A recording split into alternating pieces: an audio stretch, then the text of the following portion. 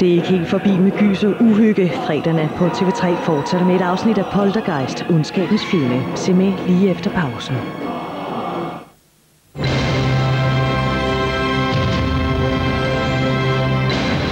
Han var en mand, der ville gøre alt for at få, hvad han ville have. You're gonna let me down now? I'm sorry, Dory. Alle tror, det er selvmord, men ikke hendes søster. Why would she want to kill herself? It doesn't make any sense. Men hun aner ikke, hvor tæt hun er på morderen. Vil hun blive hans næste offer? I think I know who killed my sister.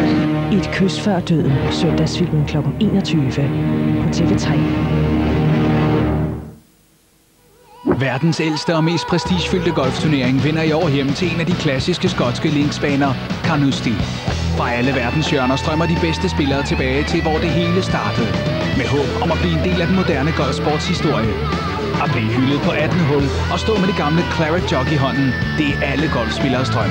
Se hvem der som den sidste i dette århundrede får drømmen opfyldt, når vi sender direkte fra British Open lørdag og søndag kl. 15 på 3+.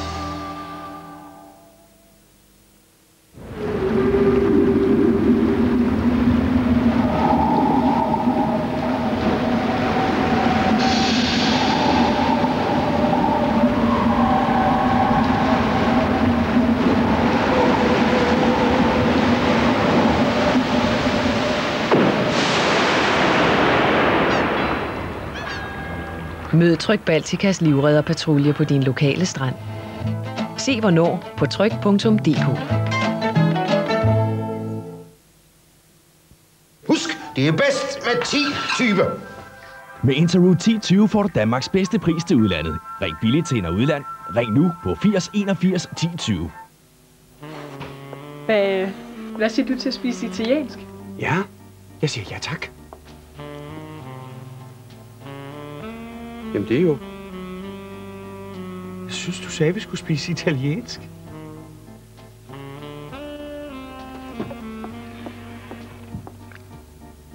Ole?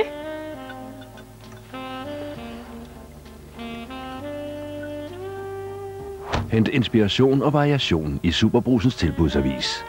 Stil krav. Det gør vi. For mig har det altid været vigtigt med blødt og dejligt tøj. Derfor bruger jeg Dunlet.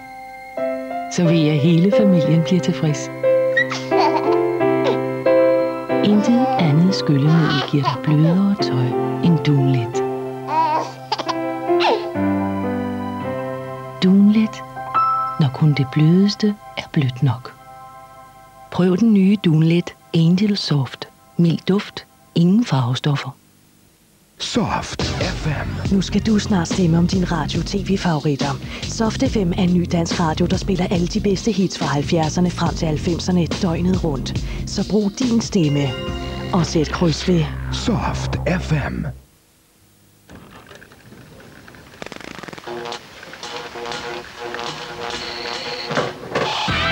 CDON, your choice.